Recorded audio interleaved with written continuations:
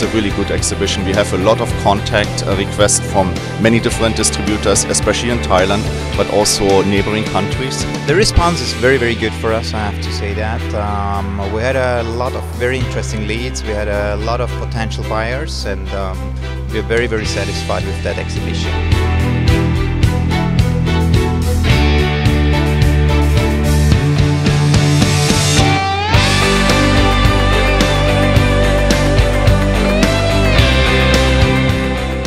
We are really pleased with our results here. We've had some great meetings with uh, people from all over the ASEAN and uh, we're really happy and we look forward to next year's show as well. They are very happy with the, the uh, some of them already got the order in the first day yesterday.